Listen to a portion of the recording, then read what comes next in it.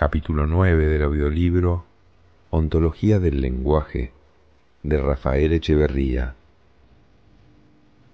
Cuatro estados emocionales básicos. Cuando escribiera una primera versión de este texto, no estaba familiarizado con el pensamiento de los estoicos. Tenía de ellos referencias generales, pero estaba lejos de conocer adecuadamente sus posiciones. Fue grande mi sorpresa, por lo tanto, cuando me introduje en él y descubrí que el texto que había escrito tenía una marcada sensibilidad estoica. Desde entonces he considerado a este texto como mi propio texto estoico. A nota de introducción, nota sobre los estoicos. Aunque el programa metafísico iniciado por Platón y Aristóteles terminara alcanzando un incuestionable predominio histórico durante más de dos mil años, tal gravitación no fue tal durante la antigüedad. Por el contrario, aunque desde sus inicios ejerciera una fuerte influencia, la perspectiva metafísica que ellos propugnaban tuvo que convivir durante muchos años con otras posturas filosóficas que no siempre aceptaban sus postulados centrales y que por el contrario se nutrían de aquellos filósofos estigmatizados por los metafísicos. Entre estas posiciones divergentes cabe mencionar a las corrientes helenísticas de los estoicos, los epicúreos, los cínicos y los escépticos, que proyectaran su influencia no solo en Grecia, sino también en Roma. Sobre el origen de los estoicos, prefiero citar las palabras de K. H. Sandbach, que nos señala. En la esquina noroeste del Angora, la gran plaza central de Atenas, se levantaba la stoa poikile, o columnata pintada, así llamada por las pinturas murales de Polignotus y de otros grandes artistas del siglo V a.C. que la adornaban. Allí, durante el período temprano del siglo III a.C., solía verse la figura de una persona sentada, hablándole a una audiencia que lo escuchaba. Su nombre era Zenón, y sus seguidores fueron posteriormente llamados hombres de la Stoa, o simplemente estoicos. Zenón es el fundador de los estoicos. Había nacido en el año 330 a.C.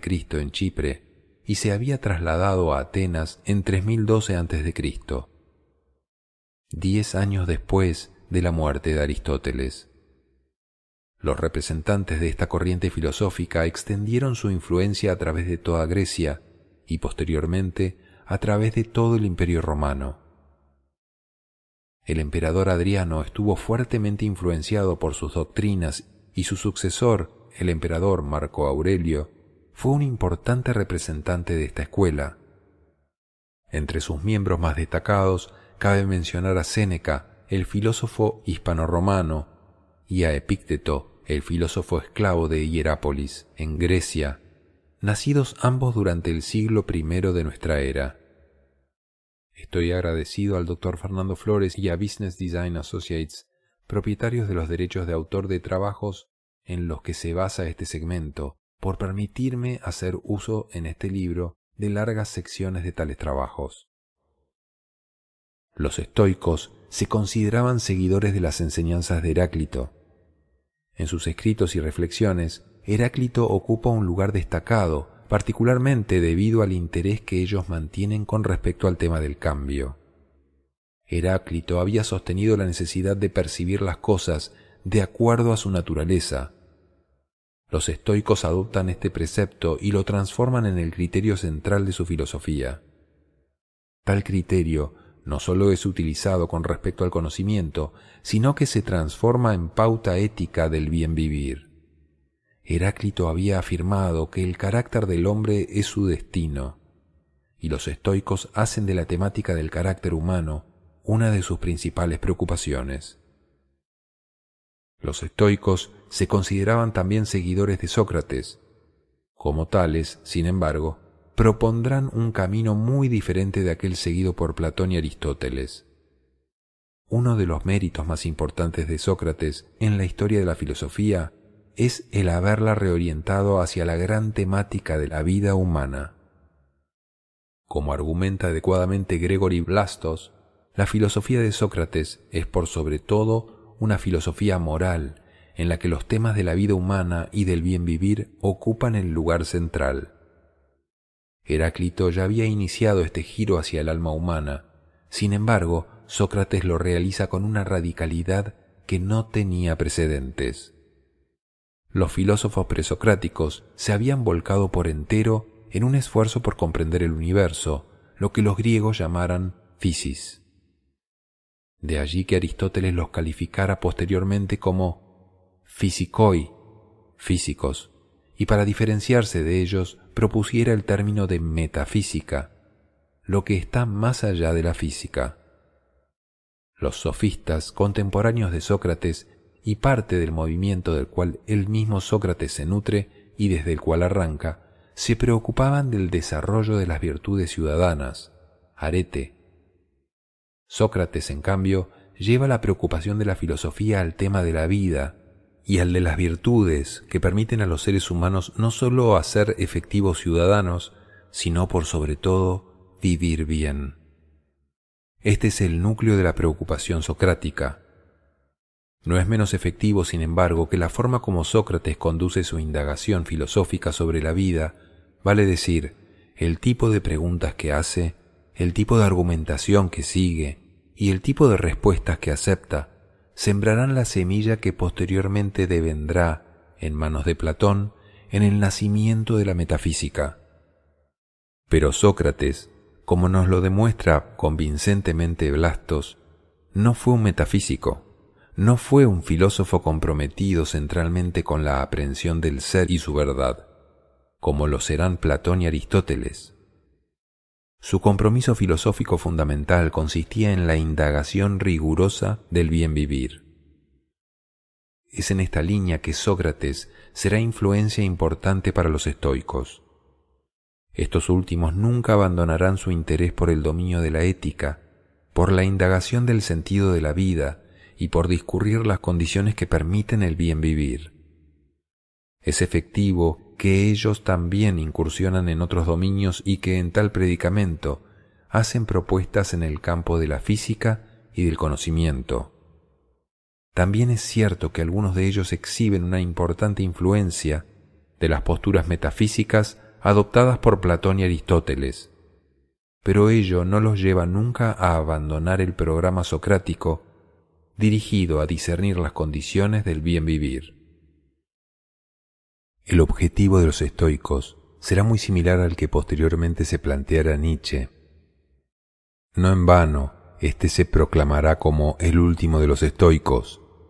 Lo que Nietzsche se propone es precisamente retomar el gran tema socrático de la vida humana, despojarlo del envoltorio metafísico con el que Sócrates lo había cubierto y que según Nietzsche lo conduce a su extravío y proveerle en cambio una base heraclitánea. No es extraño, por lo tanto, comprobar su gran afinidad con los estoicos. Ellos se habían propuesto un programa equivalente.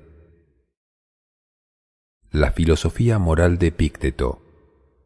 Entre todos los estoicos, con quien siento una mayor afinidad es con Epícteto, el filósofo griego que nace como esclavo y que muere como hombre libre Epícteto no tenía propiamente un sistema filosófico. Sus enseñanzas recogidas por su discípulo Arriano constituyen un conjunto de recomendaciones para el bien vivir. De los estoicos es el de los más alejados de los intereses lógicos o incluso metafísicos de algunos de sus antecesores. Sus discursos son consejos orientados a guiar a los hombres a vivir con sabiduría. De esa sabiduría de la que ya nos había hablado Heráclito, de allí que Epícteto nos resulte uno de los estoicos más heraclitáneos. Heráclito nos había advertido que la mayoría de los hombres no piensan las cosas según como las encuentran, ni reconocen lo que resulta de su propia experiencia, sino que se atienen a sus propias opiniones. Epícteto va más lejos. Para él, las opiniones de los hombres definen no sólo el mundo en el que habitan, sino que determinan su propia vida. De acuerdo a los juicios que los seres humanos emiten sobre lo que les acontece, generan uno u otro tipo de vida y determinan la felicidad y la paz que podrán encontrar en ella. Recordemos que Epícteto señalaba que no es lo que ha sucedido lo que molesta a un hombre, dado que ello puede no molestar a otro. Es su juicio sobre lo sucedido. Dentro de los juicios que los seres humanos hacemos están aquellos que se refieren al cambio y que definen lo que es posible. Pocos juicios adquieren la importancia que tienen estos. Ya Heráclito había sostenido que aquel que no espera no encontrará lo inesperado, pues éste es difícil de descubrir e imposible de alcanzar. Epícteto nuevamente nos ofrece una recomendación similar cuando nos señala que Debemos medir tanto el tamaño de nuestra zancada y la extensión de nuestra esperanza, de acuerdo a lo que es posible. Lo que es posible define, por lo tanto, lo que podemos esperar y cuánto podremos alcanzar en la vida. La manera como Epícteto especifica lo que es posible es recurriendo al criterio heraclitáneo ya mencionado de establecer el acuerdo con la naturaleza. Al determinar lo que está de acuerdo con la naturaleza de cualquier cosa, determinamos los límites de lo que podemos esperar con respecto a ella, los límites de lo que es posible y lo que no es posible cambiar. Si descubrimos que algo pertenece a la naturaleza de una determinada cosa, ello significa que no podemos esperar que tal cosa vaya más allá, que ella trascienda el límite definido por su naturaleza. El criterio de la naturaleza define, por lo tanto, el espacio de cambio posible que cabe esperar de aquello que sea el caso. Este criterio es característico de todos los pensadores estoicos y tiene un lugar central en la filosofía de Epícteto. De allí que nos insista que, antes de embarcarnos en alguna tarea, debemos siempre preguntarnos por su naturaleza. Sostiene Epícteto, frente a cualquier cosa con que uno se entretenga, que nos sea útil o a la que le tengamos aprecio, habrá que preguntarse desde el comienzo, ¿cuál es su naturaleza? De la misma manera nos reitera Epícteto, cuando uno está por emprender algo, recuérdese la naturaleza de aquello que se está por emprender. El criterio de naturaleza define lo que será posible alcanzar en la tarea que se está por realizar. Procurar alcanzar lo que por naturaleza no es posible es fuente de sufrimiento innecesario. Por lo tanto, puede evitarse mucho sufrimiento al preguntarnos por la naturaleza de lo que emprendemos y si examinamos, de acuerdo a este criterio, lo que esperamos de nuestras acciones y de las de otros, de las cosas, de las personas. Una vez que determinamos lo que corresponde de acuerdo a la naturaleza de las cosas, adecuamos a ello nuestras expectativas y nos protegemos de decepciones absolutamente innecesarias. Lo anterior le permite a Epícteto introducirse en el tema del poder personal. El poder que tengamos está delimitado por el criterio de naturaleza. Por definición, los seres humanos no tenemos el poder de modificar lo que está determinado por la naturaleza de las cosas. El criterio de naturaleza, en consecuencia, define simultáneamente el límite de nuestro poder de transformación y el límite de lo que podemos y de lo que no podemos cambiar. Fiel a lo anterior, el manual de Epícteto se abre con el siguiente párrafo. De todas las cosas existentes, algunas están en nuestro poder y otras no están en nuestro poder. En nuestro poder están el pensamiento, el impulso, la voluntad de conseguir, y la voluntad de evitar, y en una palabra, todo lo que corresponde a lo que podemos hacer. Cosas que no están en nuestro poder incluyen el cuerpo, la propiedad, la reputación, el cargo, y en una palabra, todo aquello que no corresponde a nuestro hacer. Las cosas en nuestro poder son por naturaleza libres, inestorbables, sin impedimentos. Las cosas que no están en nuestro poder son débiles, serviles, sujetas a estorbo, dependientes de otros. Para bien vivir es necesario concentrarse en las cosas que están en nuestro poder y no perder tiempo en aquello para lo cual no tenemos poder. Insistentemente nos reitera Epicteto, ejercítate en aquello que está en tu poder. Una interpretación habitual del pensamiento de los estoicos les atribuye haber predicado la resignación, el promover una fácil aceptación de que el estado de cosas existente no puede cambiar. Ello implica una distorsión de su pensamiento. Como podemos apreciarlo en el caso de Pícteto, éste nos insiste en saber discernir lo que se puede de lo que no puede ser cambiado. Y una vez que ello ha sido determinado, en comprometernos plenamente con el cambio. Lo peor que nos puede pasar es quedar atrapados en una expectativa de cambio que contraviene la naturaleza de las cosas. El saber utilizar el criterio de la concordancia con la naturaleza, según Epícteto, se traduce en sabiduría de vida. El criterio de la concordancia con la naturaleza y los juicios. El pensamiento estoico ejerció una importante influencia en las primeras etapas del desarrollo del cristianismo. Fue fuente de inspiración importante para los esclavos cristianos que luchaban por sobrevivir y expandir su influencia durante los tiempos del Imperio Romano. Esta influencia fue recogida también por la teología cristiana y la reconocemos en el campo del derecho natural, donde subsiste el criterio de la concordancia con la naturaleza, aunque éste es muchas veces presentado en clave aristotélica. Lo que el derecho natural sostiene es que el comportamiento humano debe regirse de acuerdo a ciertas pautas, pues ellas son concordantes con la naturaleza de lo que sea el caso. Ello evidentemente plantea un problema para el cual se han ofrecido distintos tipos de soluciones, distintas interpretaciones teológicas y de filosofía jurídica. El problema consiste en aceptar que los seres humanos puedan comportarse de una manera que contradice el derecho natural, de manera, por lo tanto, que es incoherente con su naturaleza. Cabe preguntarse entonces, ¿cómo es posible sostener que existe una determinada forma de comportarse que es concordante con la naturaleza y simultáneamente reconocer que los seres humanos pueden comportarse de manera diferente? ¿No era acaso lo natural el criterio que definía los límites de lo posible? Consideramos que el criterio de la concordancia con la naturaleza es el gran talón de Aquiles del pensamiento estoico aunque tomado del propio Heráclito, representa el lugar por donde se posibilita la filtración del enfoque metafísico.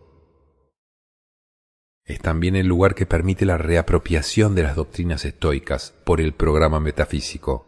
Se trata nuevamente de postular un punto de apoyo absoluto, desde el cual sustentar el ser de las cosas y la posibilidad de acceder a él.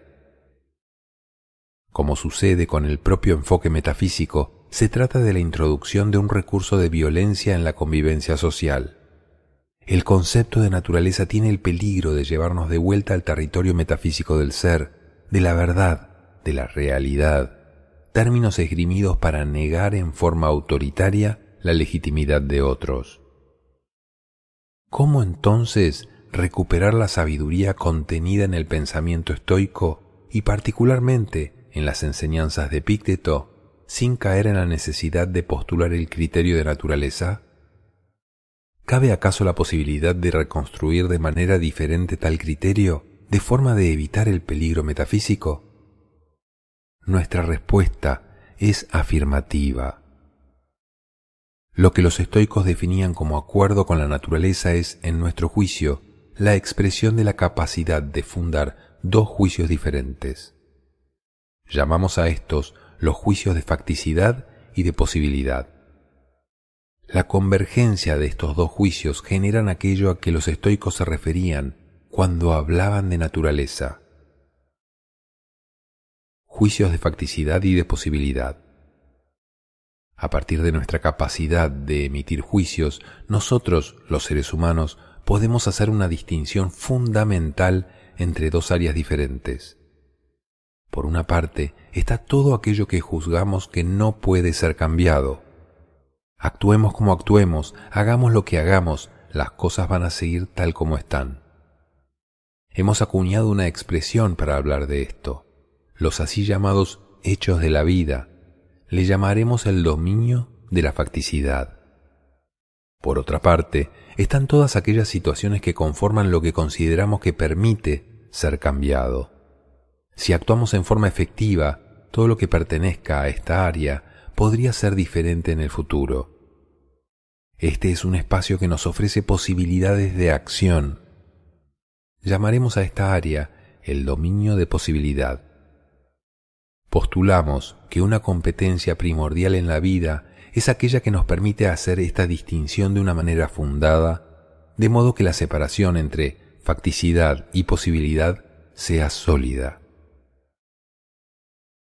La facticidad ontológica.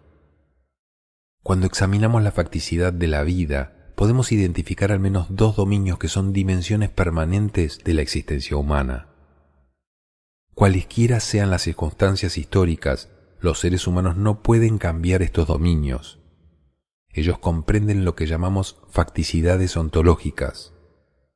Por ontológicas simplemente queremos decir que tenemos el juicio de que ellas son constitutivas de la forma de ser humana. Sean cuales fueren las circunstancias, los seres humanos no tenemos la capacidad de cambiarlas. El primer dominio de facticidad ontológica es la finitud de nuestro cuerpo. Los seres humanos como factor constitutivo de nuestra propia condición estamos limitados y nuestra finitud es una dimensión fundamental en nuestra modalidad de ser. Nuestras acciones, por ejemplo, estarán siempre restringidas por los límites de nuestra biología. Como nos insiste Maturana, los seres humanos solo podemos hacer lo que nos está biológicamente permitido, y lo que el cuerpo nos permite cambiar cambia también a medida que envejecemos. Con el tiempo, muchas cosas que eventualmente fueron una posibilidad a una edad temprana desaparecen, dejan de ser posibles. Disponemos de lo que se ha llamado períodos críticos, dentro de los cuales existen determinadas posibilidades y más allá de ellos estas posibilidades se restringen o simplemente se clausuran. No podemos, por ejemplo, convertirnos en una estrella de ballet a los 50 años.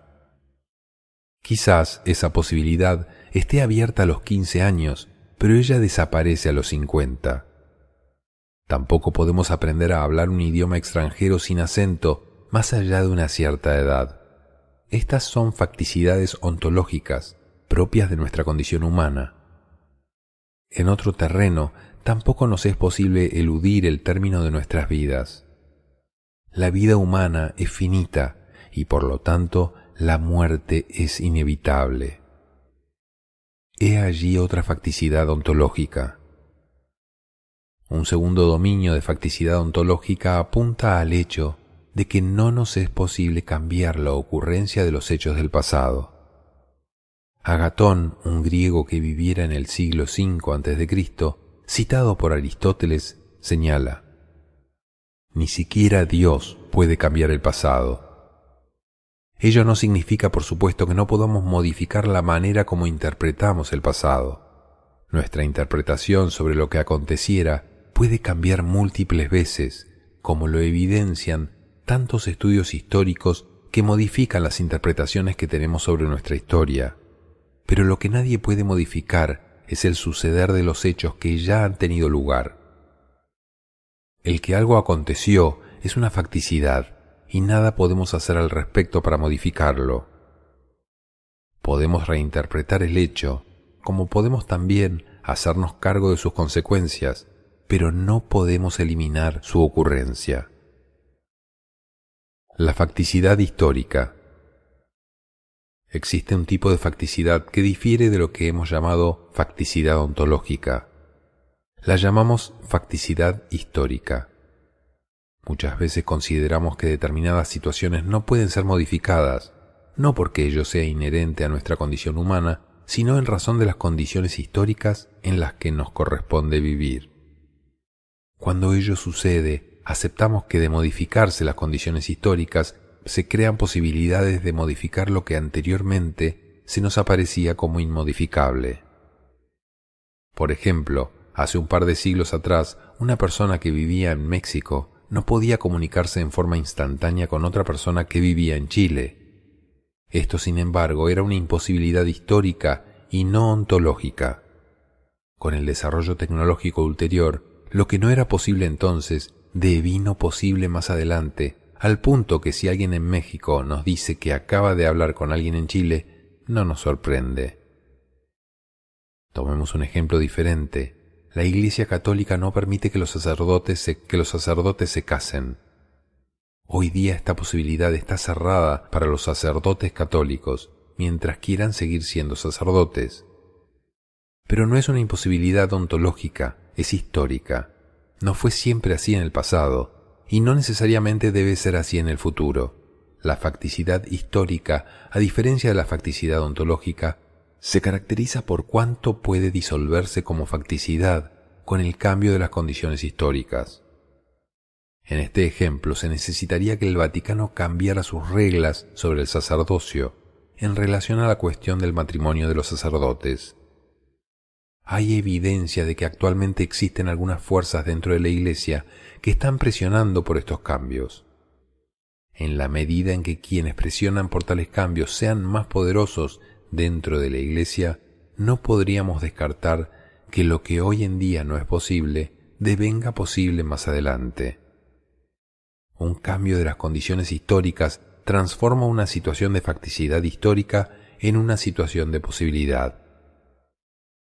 Es importante reconocer que cuando hablamos de facticidad, sea esta ontológica o histórica, no estamos apuntando a lo que suele llamarse una condición objetiva. La facticidad es siempre un juicio efectuado por un observador sobre el acontecer. Como tal, siempre puede ser modificado.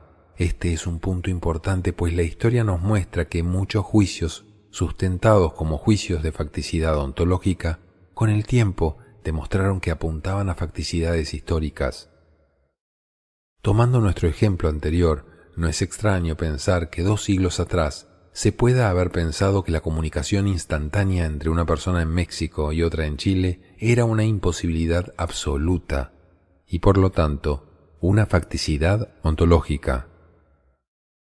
En la medida que reconocemos que la facticidad es un juicio, reconocemos también que lo que alguien podría considerar como una facticidad histórica, bien puede ser considerado por otro como un ámbito de transformaciones posibles.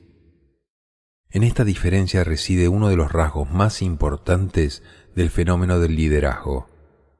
Los líderes son personas que normalmente declaran como posibles cosas que el resto de la gente considera imposibles.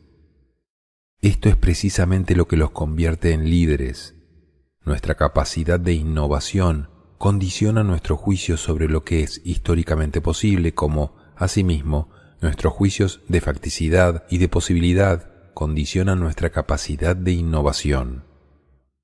Lo que decimos que es posible es siempre un juicio de la capacidad de nuestras acciones para cambiar lo que está dado.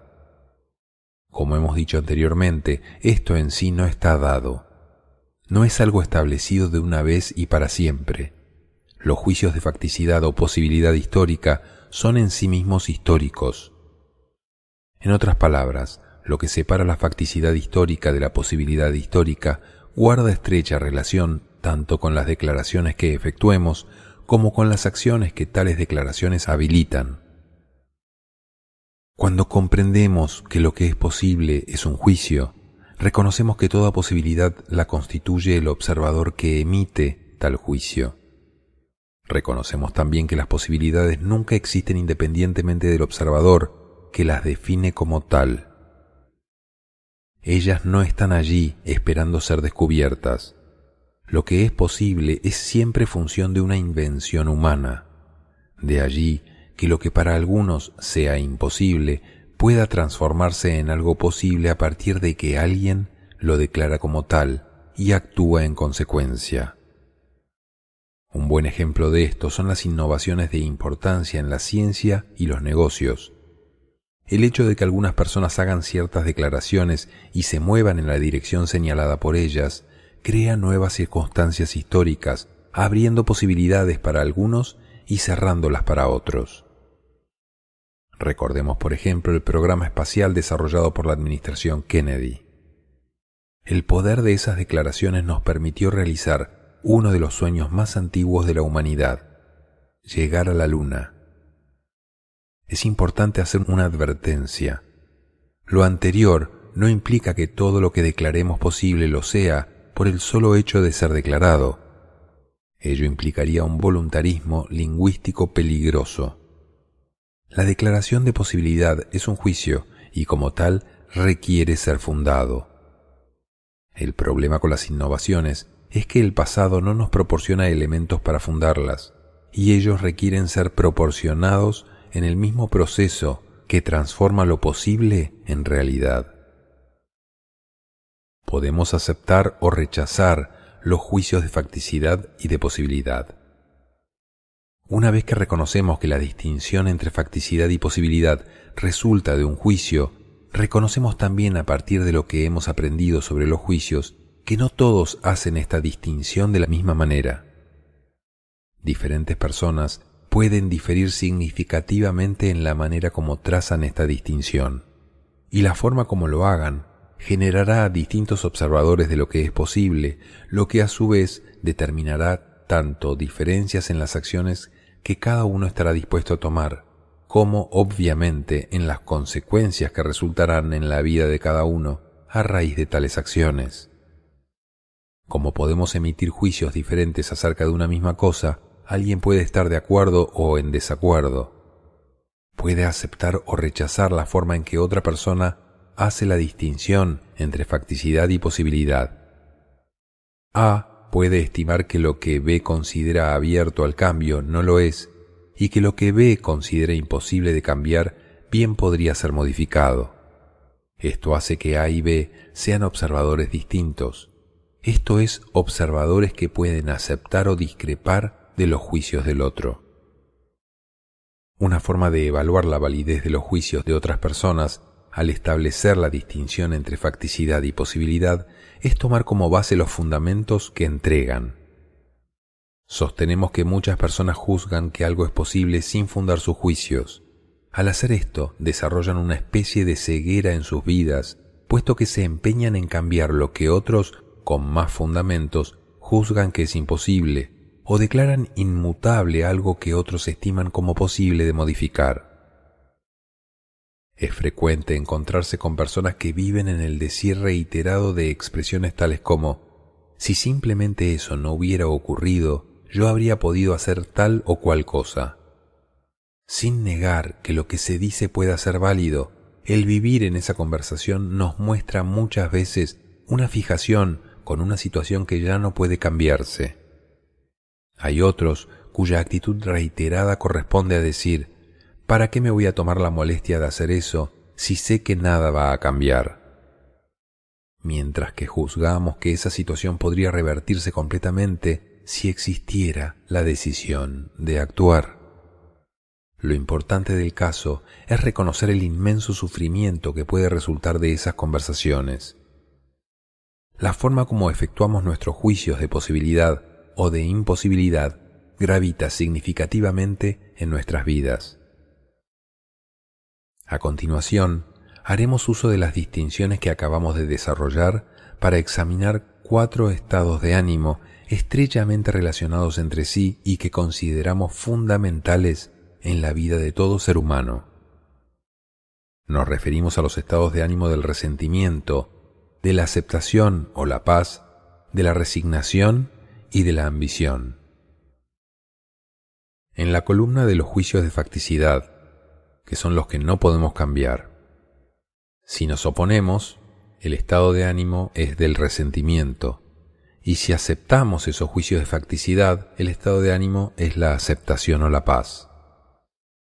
En la columna de los juicios de posibilidad, que son los que sí podemos cambiar, si nos oponemos a esos juicios, el estado de ánimo es resignación.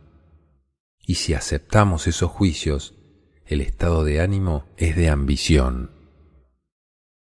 El estado de ánimo del resentimiento. Cuando los seres humanos luchamos contra lo que no podemos cambiar, cuando demostramos incapacidad para aceptar lo que hemos llamado las facticidades de la vida, generamos un espacio dentro del cual es fácil que se desarrolle el resentimiento. No estamos diciendo que el resentimiento solo sea resistencia a las facticidades de la vida. Para crear resentimiento se necesita más que el rechazo a lo que no se puede cambiar. Sin embargo, cuando no aceptamos las facticidades de la vida, el estado de ánimo del resentimiento encuentra un terreno fértil para desarrollarse.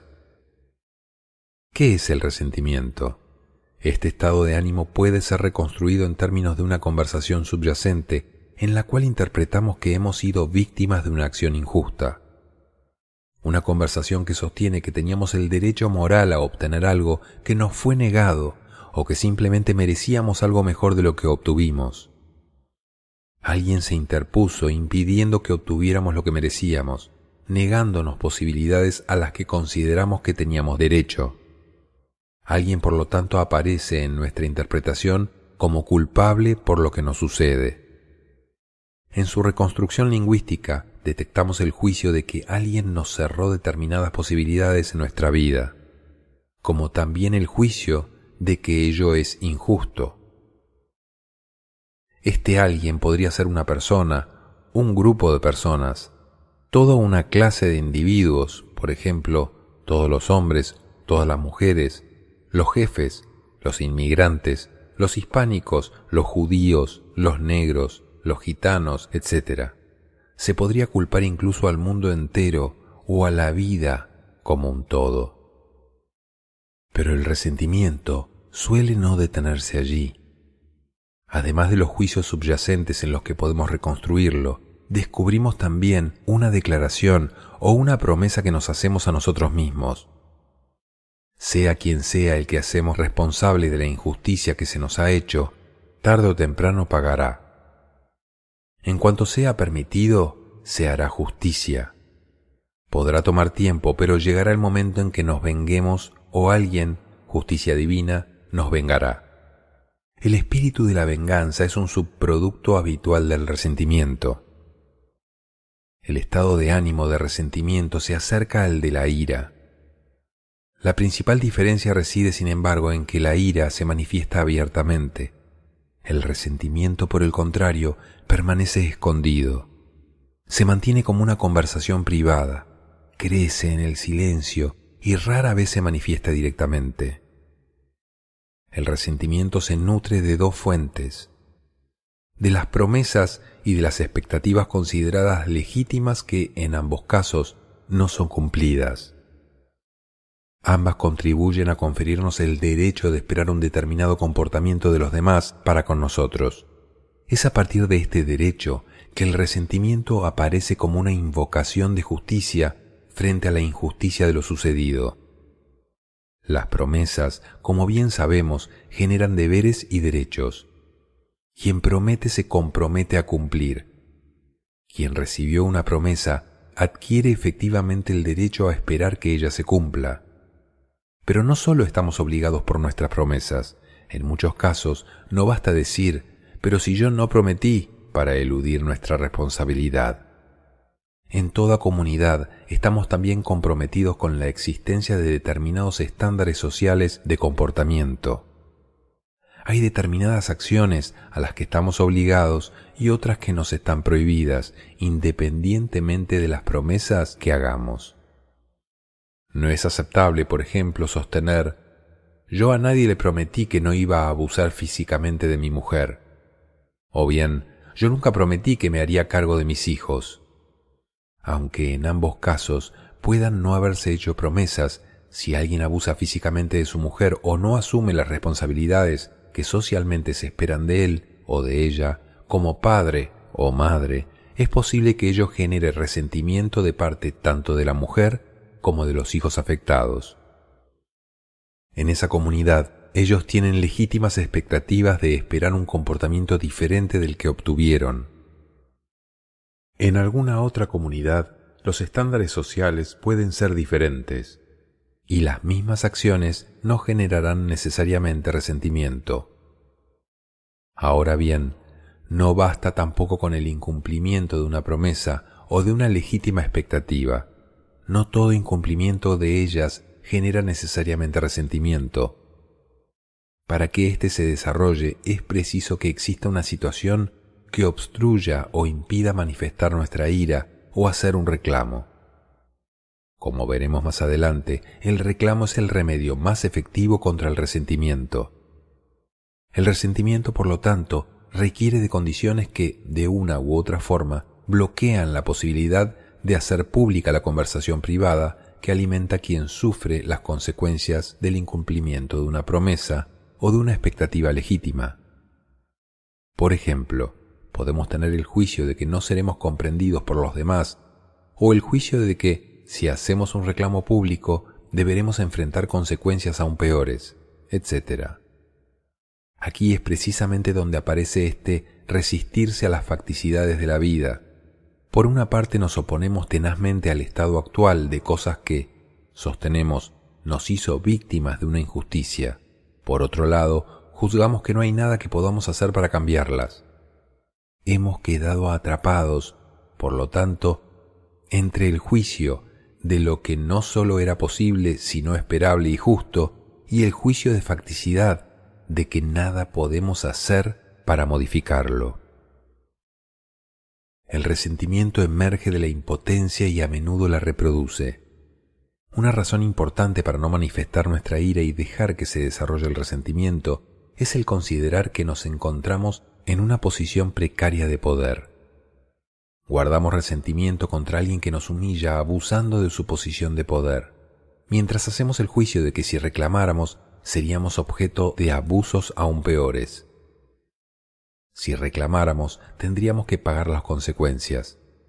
Nos sentimos a merced del poder de otro.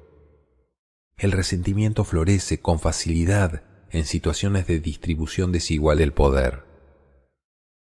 No es sorprendente, por lo tanto, que el resentimiento aparezca frecuentemente después de una derrota militar, cuando las fuerzas victoriosas imponen a los vencidos condiciones que éstos consideran extremadamente humillantes o que sobrepasan en gran medida lo que se piensa que es justo. Además, donde reina el temor, existe espacio para el resentimiento. Cuando la coordinación de acciones está basada en el temor, el resentimiento puede desarrollarse con extrema facilidad. El nexo entre distribución del poder y resentimiento es crítico ya que la distribución desigual del poder constituye casi un axioma de toda forma de vida en sociedad. Es prácticamente imposible imaginar un orden social en el cual el poder esté igualmente distribuido. Los factores detrás de la distribución del poder pueden cambiar. A veces pueden estar basados en la fuerza física, otras veces pueden provenir de diferencias en recursos financieros, en competencias, en apoyo político, etc. Hay distribución desigual de poder entre padres e hijos, entre profesores y alumnos. También la hay en las relaciones con otras personas y grupos de pares, y definitivamente en las organizaciones. En ellas el poder está prácticamente por definición distribuido en forma desigual. Solamente una sólida disciplina y una fuerte socialización de las metas más elevadas de una organización permiten a los subordinados aceptar prácticas basadas en una estructura altamente jerárquica con una sesgada distribución del poder. Las organizaciones militares son un buen ejemplo de lo que se necesita para generar condiciones especiales de obediencia y lograr que la gente acepte normas de conducta como las descritas por Lord Tennyson cuando escribió La carga de la brigada ligera. No está en ellos responder, no está en ellos preguntarse por qué, solo les corresponde hacer y morir. El estado de ánimo de resentimiento es extremadamente corrosivo para la convivencia social, de modo que a menudo actúa en favor de las partes involucradas para encontrar fórmulas que lo hagan desaparecer. La persona en resentimiento se ve afectada por un sufrimiento penetrante y muchas veces casi permanente que se manifiesta en múltiples dominios de la vida. No hay alegría, no hay felicidad verdadera para las personas que viven en resentimiento. Aún más importante es el hecho de que el resentimiento obstruye o restringe severamente nuestras posibilidades de acción.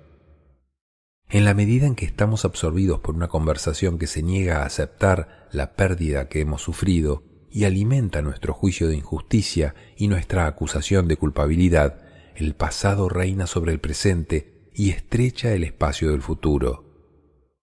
Cuando pensamos en el futuro, éste aparece impregnado por los juicios que caracterizan al resentimiento. Normalmente vivimos en el juicio de que seguiremos siendo tratados injustamente de ahora en adelante. Nuestras posibilidades futuras se convierten en posibilidades para incubar más resentimiento. Quienes son objeto del resentimiento de otros, por otra parte, se encuentran rodeados de arenas movedizas y de un entorno hostil aun cuando no lo perciban. Sus intentos de coordinar acciones se ven permanentemente desbaratados, enfrentan la promesa no formulada de que, en algún momento, en alguna parte, en alguna forma, van a pagar por aquello de lo que se les acusa silenciosamente. Es sólo cuestión de encontrar la ocasión propicia.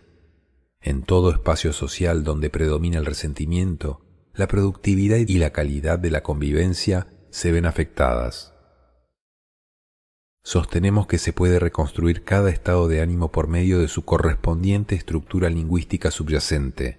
Por lo tanto, ¿cuál es la estructura lingüística en la cual se puede reconstruir el estado de ánimo de resentimiento?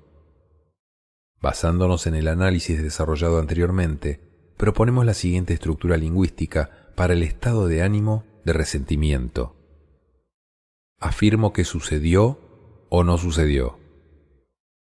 Juzgo que ello implica el incumplimiento de una promesa o de una legítima expectativa. Juzgo que X me causó daño y restringió mis posibilidades actuales. Juzgo que esto no es justo declaro que A es responsable de esto. A puede ser una persona, un grupo de personas, una institución, etc. Juzgo que no puedo hacer nada ahora para que A repare el daño que me ocasionó. Declaro que esto no es correcto, no debiera ser o debiera ser diferente. Declaro que en algún momento, en algún lugar, en alguna forma, A va a pagar por esto. También se pueden aceptar algunas variaciones de esta estructura.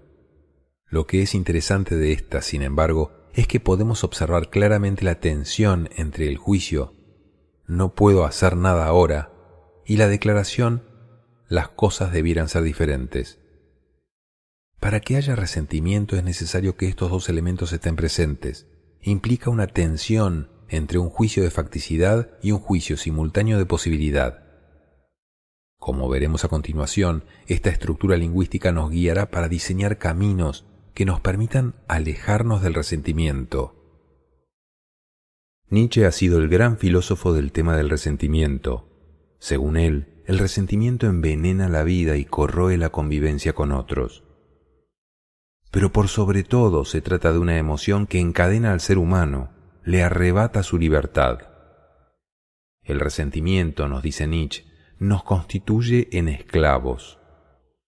La esclavitud no es sólo, ni siquiera primordialmente, un asunto político o legal. Es por sobre todo una condición del alma humana. Quien es jurídicamente un esclavo puede ser a la vez un alma libre, como nos lo demuestra Epícteto.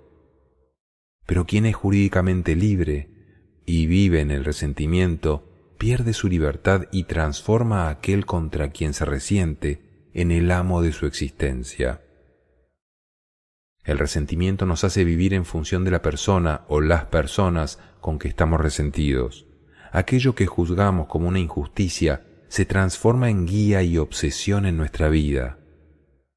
La coherencia de lo que hacemos está definida por nuestro odio al otro y por nuestra sed de venganza. La persona en resentimiento se desplaza, nos dice Nietzsche, como la tarántula esperando el momento propicio para descargar su veneno. Tal como lo planteamos previamente, cuando examináramos la declaración del perdón, el resentimiento esconde su propio carácter, incluso frente a quien lo padece. En la medida en que traza una línea de demarcación entre la maldad del otro y el sentido de víctima respecto de uno mismo, el sentido se confiere a sí mismo una coartada, pues se coloca del lado del bien. Esta es precisamente la trampa. Es difícil reconocer cómo el odio hacia el otro podría convertirlo en nuestro amo, pero esto es lo que el resentimiento acomete. A través del odio, el otro, incluso sin saberlo, adhiere poder sobre nuestra vida. El resentimiento, hemos dicho, profundiza nuestra impotencia y nos arrebata nuestra libertad. Es en este sentido que insistimos en el poder liberador del perdón. el estado de ánimo de aceptación y paz.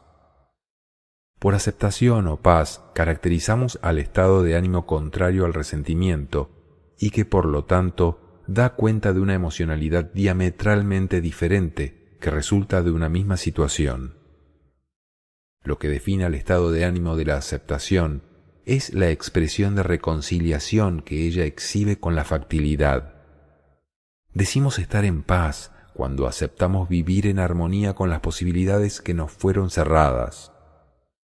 Estamos en paz cuando aceptamos las pérdidas que no está en nuestras manos cambiar. De esta manera, por ejemplo, podemos relacionarnos con nuestro pasado desde el resentimiento o desde la aceptación. Cuando lo hacemos desde la aceptación, ello no implica, por ejemplo, negarse a reconocer los errores que pudimos haber cometido, pero somos capaces de vivir en paz, pues lo que sucedió en el pasado no tiene necesariamente que repetirse en el futuro. Miramos esos errores como expresión de precariedades que eventualmente podemos corregir en el futuro. La aceptación tampoco desconoce los errores o las acciones nocivas de los demás, ni la búsqueda para que ellos no se repitan. Lo que la aceptación fundamentalmente acepta es el hecho de que no podemos cambiar lo ya ocurrido y en cuanto tal lo declara cerrado. Tal como nos indica Epícteto, la aceptación nos permite abocarnos a la tarea de cambiar lo cambiable, sin ser consumidos por el lamentar inútil frente a lo que nada podemos hacer. La aceptación nos coloca en la senda de la transformación del futuro. Del resentimiento a la aceptación. Es importante examinar de qué forma es posible desplazarse del estado de ánimo de resentimiento al de aceptación. La clave para hacerlo se encuentra, en muchos casos, en temas que hemos desarrollado anteriormente. Una primera modalidad de desplazamiento puede ser alcanzada al identificar los juicios que aparecen en la reconstrucción lingüística del resentimiento y en el examen de sus fundamentos. Por ejemplo, podríamos examinar los fundamentos que encontramos para emitir los juicios que nos conducen a efectuar la acusación que está involucrada en el resentimiento. Al hacerlo, puede suceder que descubrimos que, reexaminada la situación correspondiente, la persona a quien acusamos no es del todo responsable de lo que sucedió.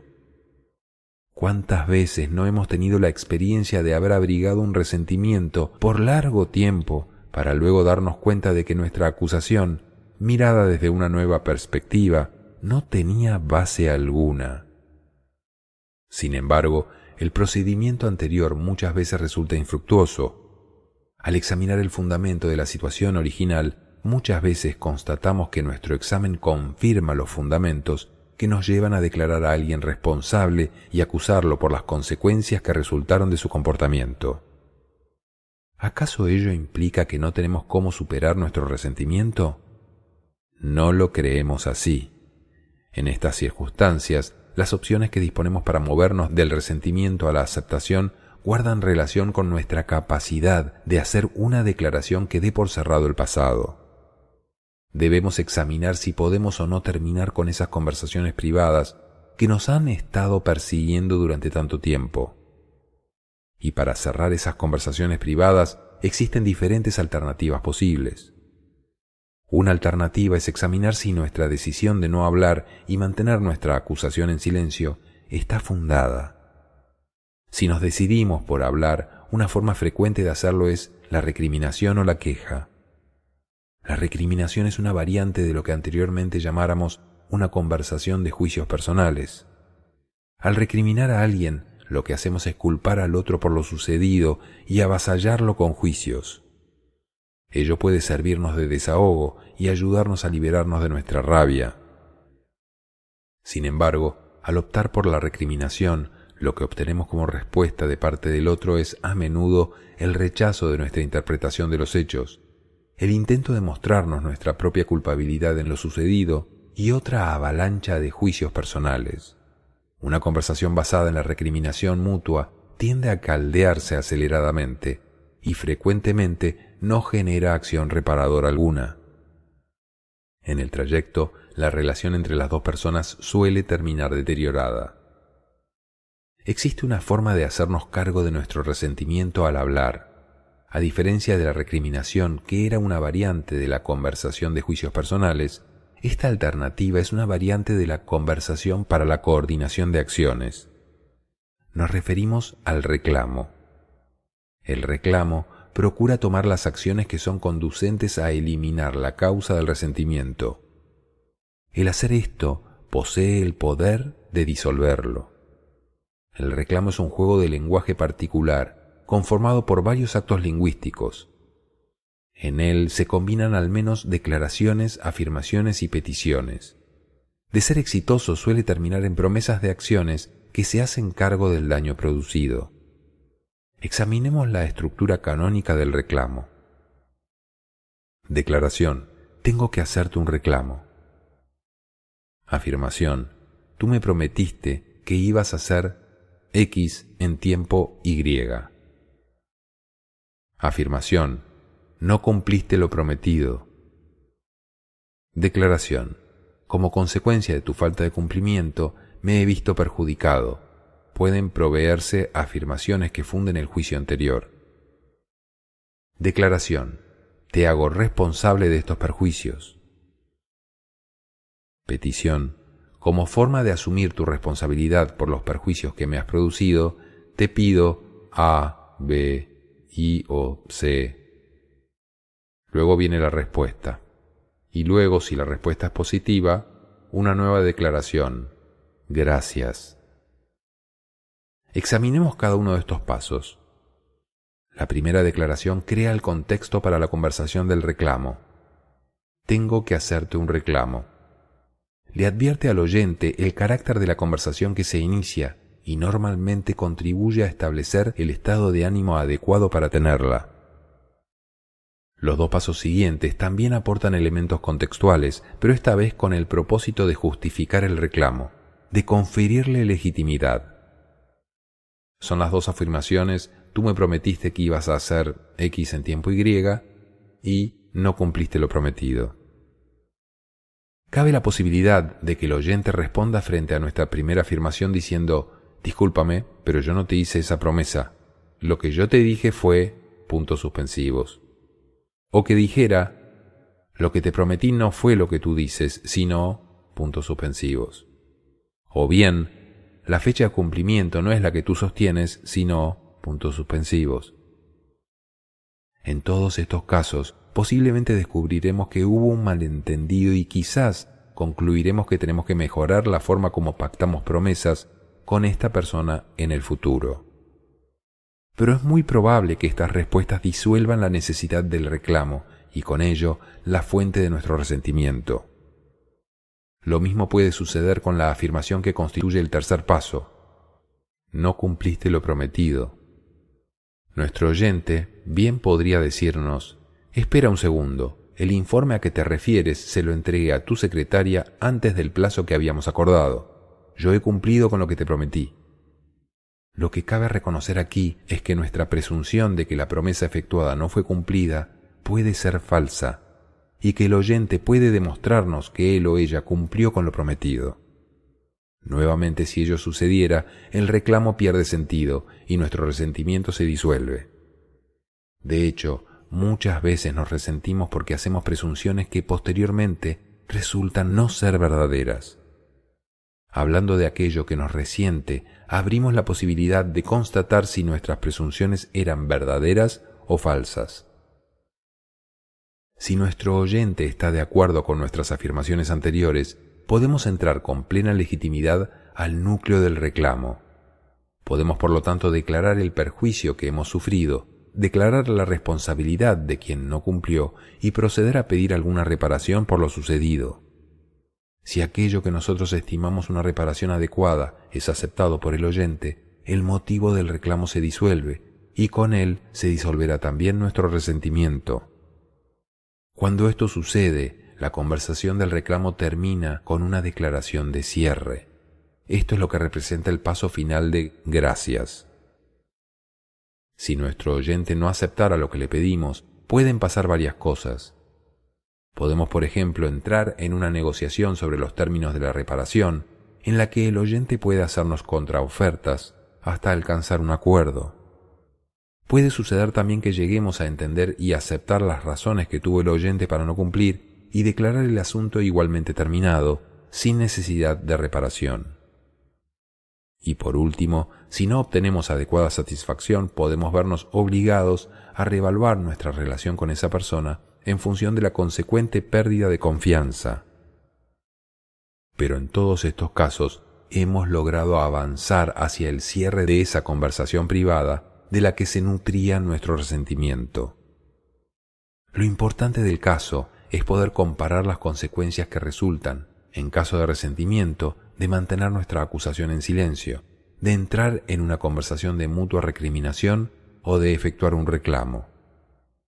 Uno de los resultados de este último es el que las partes involucradas abren la posibilidad de salir de él cuando se logra un acuerdo, recuperando la dignidad que con anterioridad se consideraba afectada.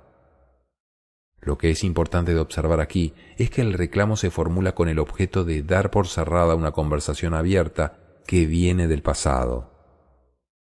Muchas personas no saben cómo llevar a cabo la acción de reclamar de modo de completar efectivamente el pasado. Algunos creen que con recriminar al otro hacen todo lo que deben realizar y pasan de una recriminación a otra.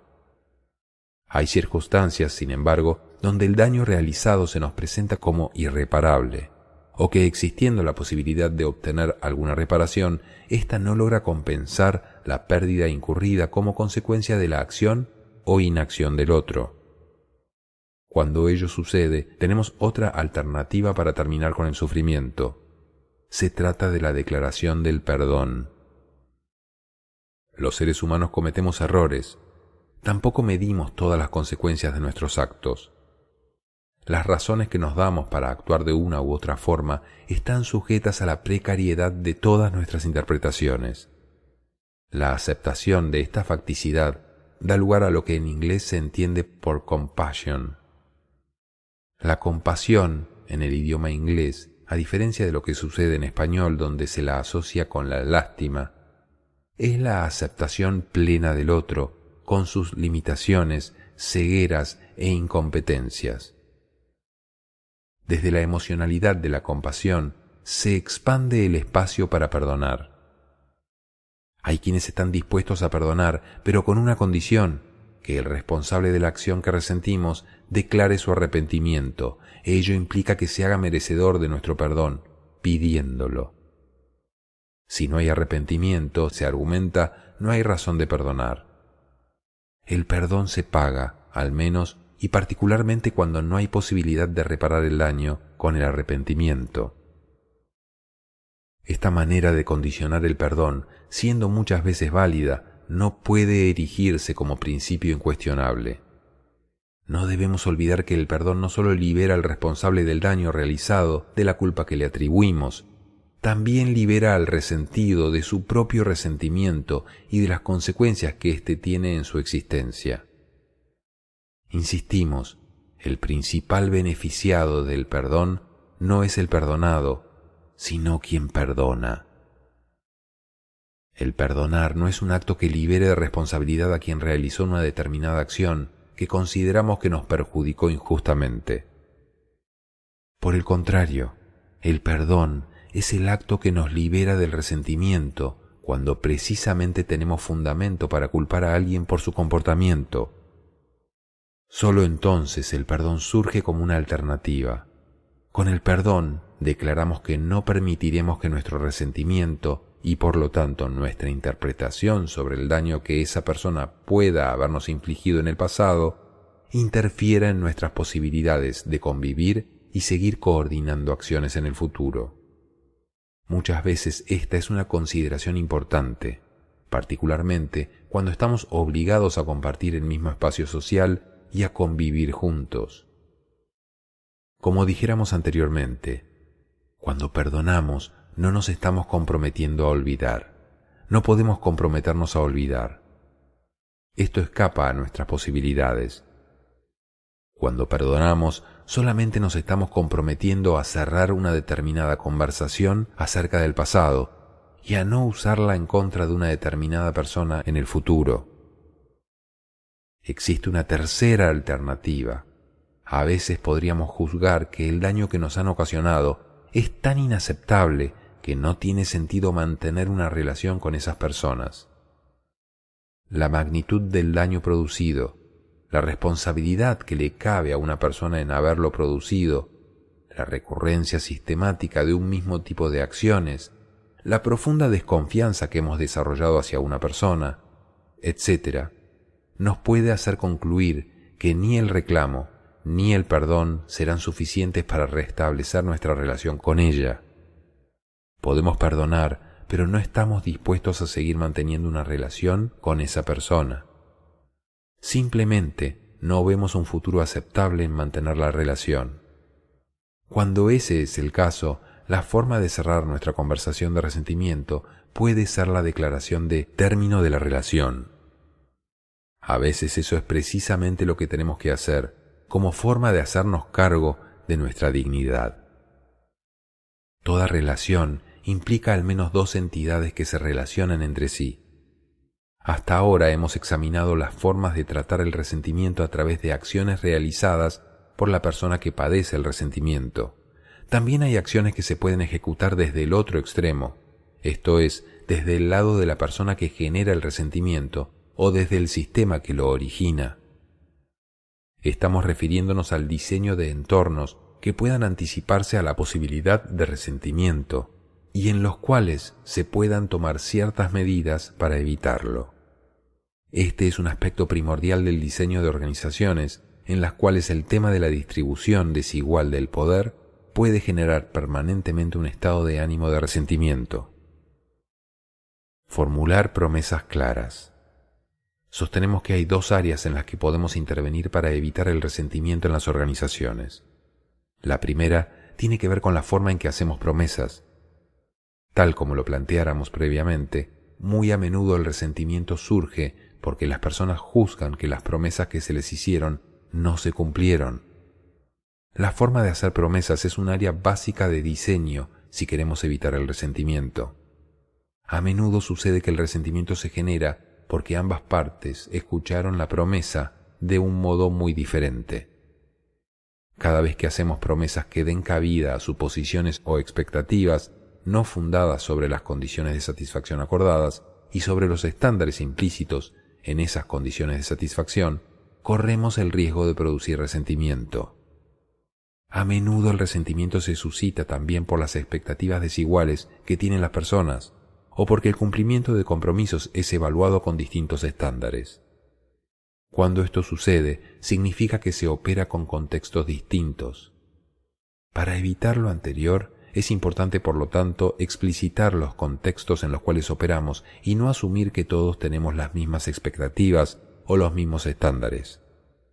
Antes de iniciar una relación, es muchas veces conveniente detenerse a crear un contexto común y declarar, por ejemplo, si acepta el puesto que le ofrecemos, puede esperar que de cumplirse X condiciones suceda Y. Sin embargo, le advertimos que no espere W, mientras las reglas sean las que hemos pactado. La comunicación deficiente es una fuente continua de resentimiento. Si la gente se preocupara desde el comienzo mismo de hacer promesas claras, muchas causas de resentimiento desaparecerían. Para que esto sea posible, es importante verificar que todos los involucrados escuchen las promesas en la misma forma y dejar muy claros los compromisos que cada parte adquiere para cumplir sus promesas. La ambigüedad al formular promesas siempre es una fuente potencial de resentimiento. Sin embargo, por más atención que pongamos al formular promesas, nunca podremos estar absolutamente seguros de la forma en que fueron escuchadas.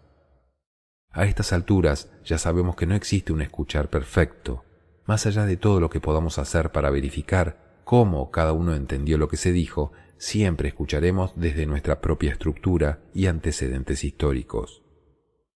No lo podemos evitar. Por lo tanto, un cierto grado de ambigüedad es parte de la facticidad de la comunicación humana.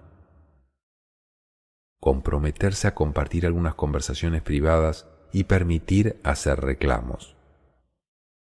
Esto nos lleva a la segunda área en la cual podemos intervenir para reducir el riesgo de resentimiento y manejar la descoordinación potencial de acción que éste implica.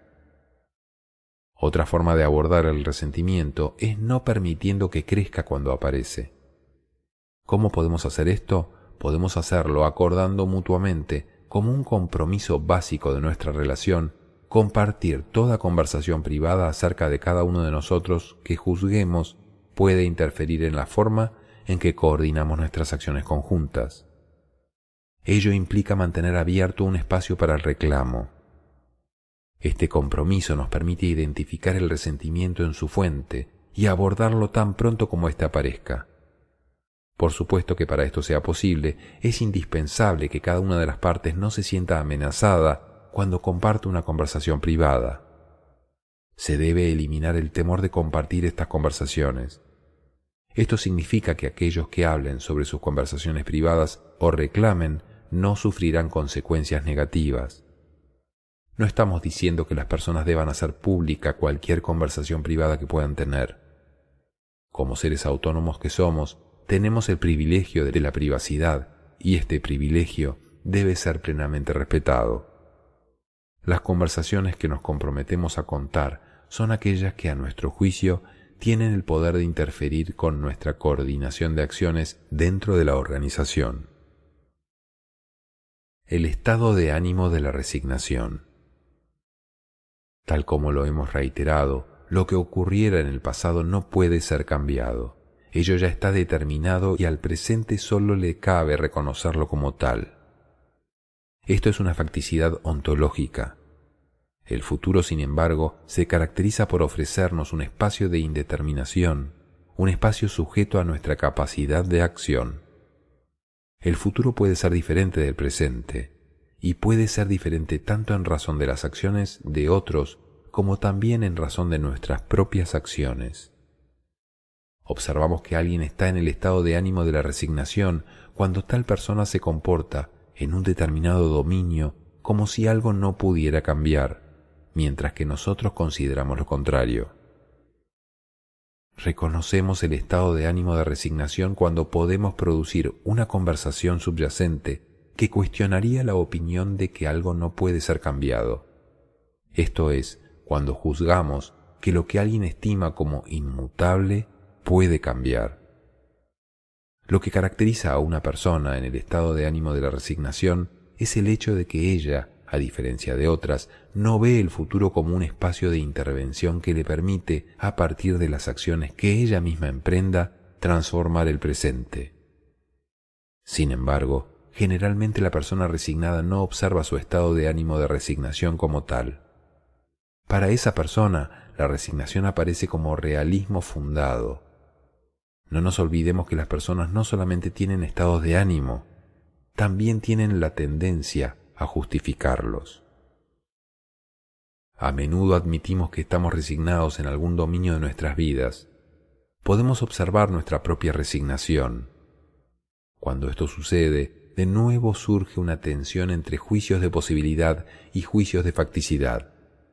Por una parte, reconocemos que las cosas podrían ser diferentes, pero por otra, estamos poseídos por el juicio de que las cosas no van a cambiar hagamos lo que hagamos. Esto a menudo conduce a admitir que teóricamente las cosas podrían cambiar. Al mismo tiempo, no nos queda claro cómo ejecutar el cambio. A un nivel muy concreto no sabemos qué hacer y por lo tanto no hacemos nada. Esta es una manifestación muy común y generalizada de resignación. El estado de ánimo de la ambición. Al estado de ánimo de la resignación se contrapone el de la ambición. Este último se caracteriza por hacer lo contrario de lo que hacía el primero. Mientras la resignación se definía por la cláusula de posibilidades futuras, la ambición destaca por identificar amplios espacios de intervención que conllevan el germen del cambio. A través de su reconstrucción lingüística, a la ambición le corresponde un juicio que habla sobre la manera como la persona se para frente al futuro. Como tal, la ambición permite ser reconstruida como una mirada diferente al futuro. una mirada en la que éste es visto como un vasto espacio de posibilidades de acción y donde las acciones poseen una gran capacidad generativa y por lo tanto de reconstrucción de nuevas realidades. Una persona ambiciosa entiende que el presente constituye futuro y al hacerlo trasciende de lo que hoy existe. Como disposición, ella se identifica con lo que Nietzsche llama voluntad de poder. Cabe advertir, sin embargo, que el término ambición tiene connotaciones muy diferentes según los discursos históricos que predominen en las distintas comunidades. En el mundo anglosajón es un atributo positivo. En cambio, en aquellas comunidades donde, por ejemplo, el discurso histórico predominante es el catolicismo, la ambición tiene una fuerte carga peyorativa. Ser ambicioso es visto normalmente como despreciable. Lo que es importante observar es que se trata de diferencias que remiten a los discursos históricos predominantes. Desde nuestra perspectiva, podemos reconstruir lingüísticamente el estado de ánimo de la ambición por referencia al juicio que hacemos de una persona, en el sentido de que ve posibilidades de acción donde otros normalmente no las ven, y se compromete en la ejecución de tales acciones. De la resignación a la ambición. Cuando identificamos un área en la cual sospechamos que detrás de nuestro realismo podría esconderse un estado de ánimo de resignación, también se pueden efectuar ciertas acciones. Ahora entendemos que se puede reconstruir la resignación como una estructura lingüística subyacente en la cual declaramos que no se puede hacer nada aquí o haga lo que haga, nada va a cambiar, en circunstancias que otros pueden refutar nuestro juicio. Nuevamente una forma de lidiar con este estado de ánimo de resignación será el examinar los fundamentos de esos juicios. Podríamos descubrir, cuando los examinamos más detenidamente, que los obstáculos que suponíamos nos impedían actuar efectivamente no existen o bien podrían ser superados.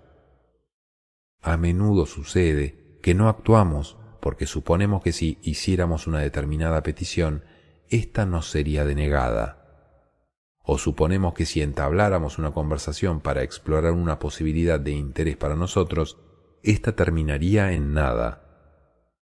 Sin embargo, no es extraño descubrir cuando entablamos esta, esa conversación que nuestro supuesto inicial era infundado.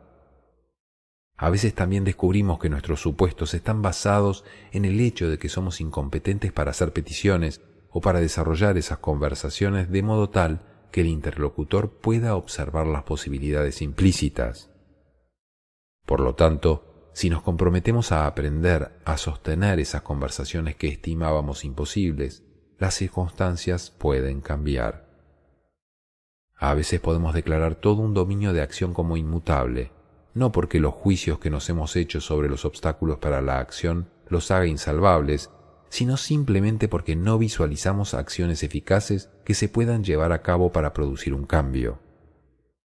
En estas circunstancias, lo que falta no es el examen de los fundamentos de nuestros juicios, sino más bien se requiere entablar conversaciones para posibles acciones.